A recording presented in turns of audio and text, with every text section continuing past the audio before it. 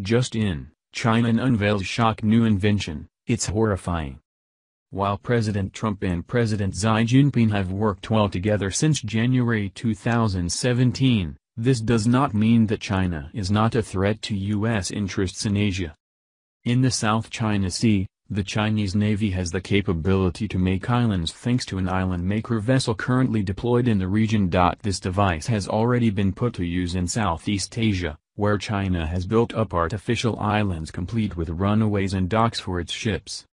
This policy of creating islands in the South China Sea is part of Beijing's One Belt, One Road initiative that seeks to make China the dominant economic power in the world by the next decade.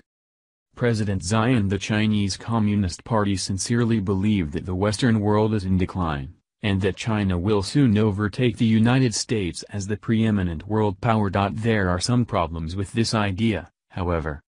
First and foremost, the One Belt, One Road initiative is already putting other powers in Asia on high alert. For starters, Chinese designs in Central Asia strike at the heart of Russia, which considers itself a leader in that part of the world. Similarly, Chinese naval buildup in Southeast Asia is a direct threat to Vietnam, a longtime opponent of Chinese hegemony in the region, and the Philippines, which has recently struck up a close relationship with Beijing. Finally, China's imperial designs could crash if North Korea, a client state, decides to start a nuclear war. In order for China to become a respected world power, it must deal with the nuisance in Pyongyang.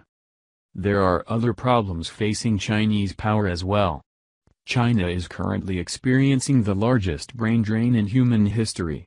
The government in Beijing is now trying to reverse that problem by luring young and well-educated Chinese citizens back home.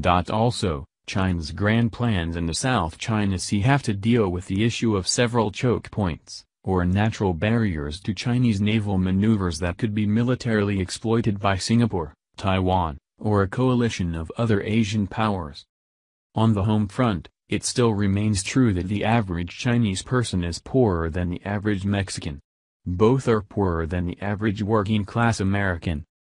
Despite these handicaps, the U.S. should take Chinese hegemony in Asia very seriously.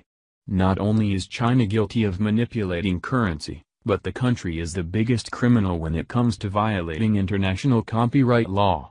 President Trump is aware of all of these facts, and is moving to deal with Chinese aggression. However, a delicate balancing act must be maintained.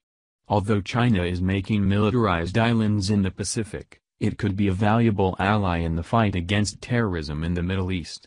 The fact that so many Chinese Uyghurs are fighting in Syria on behalf of ISIS and al-Qaeda is a major concern to Beijing. 1a. U.S.-Russian-Chinese alliance against Islamic terrorism would be an unstoppable force. America can conduct diplomacy with China, but must recognize that the CCP are not our friends.